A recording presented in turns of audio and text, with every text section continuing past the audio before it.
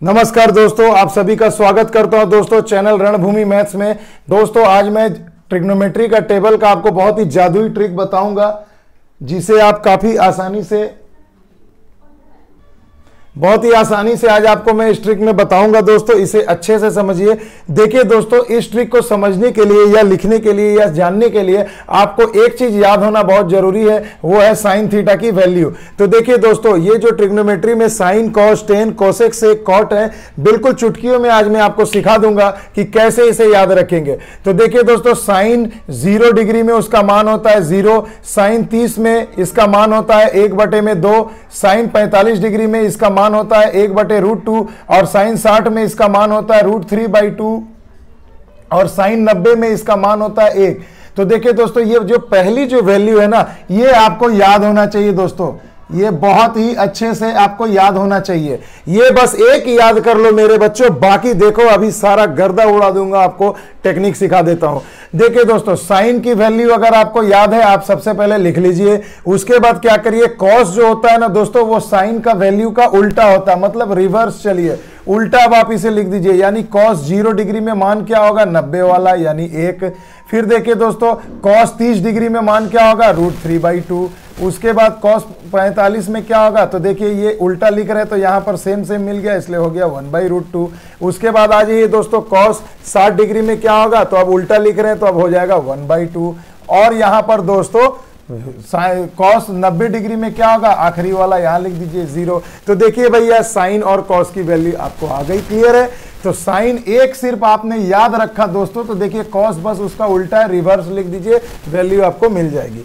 उसके बाद दोस्तों, जैसा कि मैंने ट्रिग्नोमेट्री पार्ट वन में आपको बताया था कि टेन बराबर क्या होता है तो देखो बच्चों टेन थीटा बराबर होता है साइन थीटा बटे कॉस थीटा ये फॉर्मूला मैंने आपको बताया था कि टेन थीटा बटे टेन थीटा बराबर होता है साइन थीटा बटे कॉस थीटा यानी साइन अपॉन कॉस यानी कि इन दोनों को बस बटा कर दीजिए, भाग दे दीजिए, जो आएगा वही टेन थीटा की वैल्यू हो जाएगी।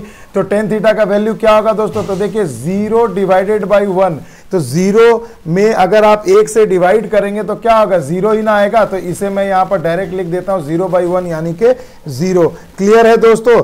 आ रहा है ना, बात समझ में, आनंद भी आएगा, आपको घबराइए नहीं दोस्तों। तो टेन थीटा ये ज़ीरो हो गया। अगर मैं इसको दोनों को डिवाइड करूँ साइन बटे कॉस तो देखिए रूट टू टू कट जाएगा, क्या बचेगा? एक बटे रूट थ्री देखिए वैल्यू क्लियर है। अगर मैं इन दोनों को डिवाइड करूँ सेम है तो देखिए टेन फोर्टी फाइव का वैल्यू हो जाएगा वन अगर इन दोनों को डिवाइड करूँ तो देखिए दो दो कट जाएँगे तो क्या बचेगा? केवल रूट थ्री बचेगा। अब मज़े की चीज़ आ गई दोस्तों। अब अगर मैं इन दोनों को डिवाइड करूँ तो देखिए मैं लिखूँगा एक बटे में ज़ीरो तो मेरे बच्चों, एक चीज़ ये समझना कि एक बटे ज़ीरो यानी एक में ज़ीरो से भागा दो, कभी भागा जाएगा, आप देते जाएँगे, मगर कभी शेष नहीं होगा, अंत नहीं होगा। इसलिए इसे हम क्या लिखते हैं दोस्तों? अनंत लिखते हैं। क्या लिखते हैं? अनंत इनफाइनाइट या अनडिफाइंड या अपरिभाषित। आ गई दोस्तों, बात समझ में ये याद रखना। तो ये अपरिभाषित कब होता है दोस्तों? जब भी एक बटे में ज़ीरो आए। मतलब जब भी आप किसी संख्या में ज़ीरो से भाग देंगे तो वो हमेशा अनडिफाइंड आता है, अपरिभाषित होता है इन्फिनिटिव होता है। इन्फिनिटी होता है। याद रहेगा दोस्तों? यहाँ तक देखिए, साइन हमने याद किया कॉस उसका उल्टा लिख दिया टेन साइन बटा कॉस कर दिया, काम खत्म। अब देखिए दोस्तों, मज़े की चीज़। मैंने पहले वीडियो में बताया था कि साइन का उल्टा क्या होता है? कौशिक यानी कि दोस्तों, साइन थीटा बराबर क्या होता है? एक बटे में कौशिक थीटा। साइन बराबर क्या होता है? एक बटे में कौशिक थीटा। यानी साइन का जो भी मान होगा, उसे एक बटा करके लिख दो। जो आएगा, वो कौशिक का मान हो जाएगा। आ गई दोस्तों, बात समझ में क्लियर है? तो अब देखो बच्चों, यहाँ पर कौशिक में क्या आप लिखोगे? तो कौशिक में क्या लिखोगे? साइन के मान को एक बटा करके लिख देना। तो यहाँ अगर ज़ीरो है तो इसे मैं एक बटा ज़ीरो लिखूँगा। एक बटा ज़ीरो यानी फिर से ज़ीरो से भाग देंगे, यानी कि क्या हो जाएगा? अनंत हो जाएगा इनफाइनाइट हो जाएगा।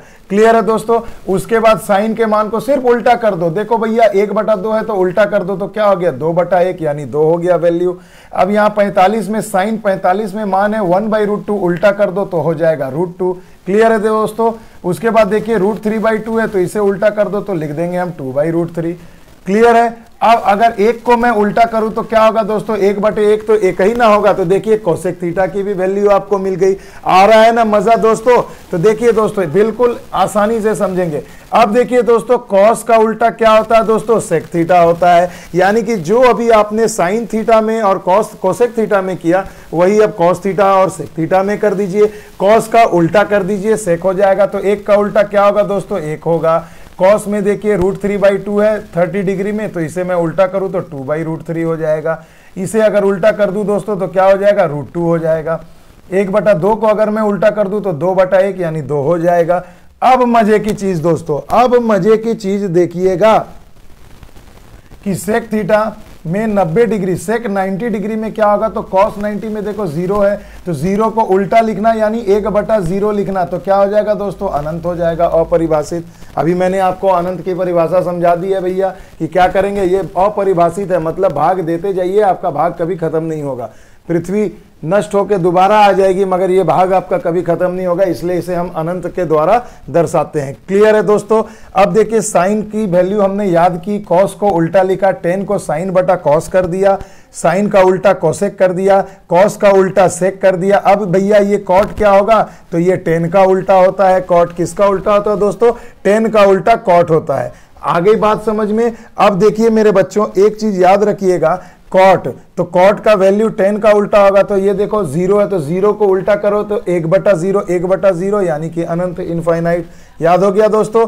ऐसे भी आप कर सकते हैं, या इसे आप बस उल्टा लिख दीजिए। यानी कि जिस तरह से साइन का मान आपने याद किया और कॉस को उसका उल्टा लिख दिया था तो उसी प्रकार टेन के मान में क्या करिए, टेन के मान को याद करके कॉट के मान को उल्टा लिख दीजिए। मगर वो भी मैं, मैंने आपसे वीडियो में शुरू में वादा किया था ना कि सिर्फ़ साइन की वैल्यू याद रखिए, बाकी मैं आपको कुछ भी याद करने नहीं दूँगा। तो देखिए दोस्तों, मैं चलिए बिना याद किए ही बनाता हूँ। टेन का वैल्यू ज़ीरो है तो एक बटा ज़ीरो यानी इनफाइनाइट। इसका उल्टा कर दीजिए तो क्या हो जाएगा दोस्तों, रूट थ्री हो जाएगा। एक का उल्टा एक ही होगा और रूट थ्री का उल्टा होगा वन बाई रूट थ्री। और देखिए दोस्तों, यहाँ अनंत है तो अनंत में क्या हो जाएगा दोस्तों? कॉट में तो कॉट में, अनंत में इसका वैल्यू क्या हो जाएगा? ज़ीरो हो जाएगा, क्योंकि देखिए टेन में क्या है? अनंत है। तो अनंत को अगर मैं उल्टा लिखूं, देखिए मैं यहाँ साइड में लिखता हूँ, अनंत है इनफाइनाइट का मतलब होता है एक बटे ज़ीरो अगर आप, अगर इसे उल्टा करेंगे तो क्या होगा? ज़ीरो बटे एक तो ज़ीरो बटे एक, यानी ज़ीरो हो जाएगा। क्लियर है दोस्तों? तो यहाँ वैल्यू आपकी आ जाएगी ज़ीरो तो देखिए दोस्तों मज़ाक मज़ाक में हमने पूरे साइन कॉस टेन कॉसेक से कॉट की सारी वैल्यू निकाल ली दोस्तों बस पाँच मिनट में। तो सोचिए जरा, अगर आप सिर्फ़ साइन की वैल्यू याद कर लें और उसे कॉस को उल्टा लिख लें टेन को क्या करें? साइन अपॉन कॉस कर दें। कोसेक को क्या करें? साइन का उल्टा सेक को क्या करें? कॉस का उल्टा और कॉट को क्या करें? टेन का उल्टा। तो देखिए, सारी वैल्यू याद हो गई। अब देखिए दोस्तों, बनाते बनाते ही आपको ऐसे ही याद हो जाएँगे। तो दोस्तों, ये एक छोटा सा वीडियो था मेरा, छोटा सा प्रयास था, इसे अच्छे से देखना, समझना, सारा का सारा डाउट क्लियर हो जाएगा। मिलते हैं अगले वीडियो में, नए टॉपिक नए लॉजिक के साथ। तब तक के लिए जय हिंद, जय भारत।